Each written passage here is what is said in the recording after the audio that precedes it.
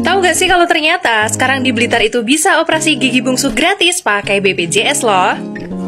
Dan kebetulan ini untuk operasi gigi bungsu aku yang keempat. Aku mau ke rumah sakit Amina Blitar. Buat kalian yang penasaran seperti apa videonya Jangan lupa kalian nonton terus videonya sampai selesai ya Gigi bungsu yang pertama dan juga kedua kemarin itu sudah infeksi makanya harus segera kita lakukan operasi. Sedangkan gigi yang ketiga dan juga yang keempat ini itu sering banget keselip makanan dan kalau udah keselip itu rasanya sakit banget dan susah untuk dibersihkan. Tapi untuk gigi yang lainnya itu aman tidak ada yang berlubang sama sekali.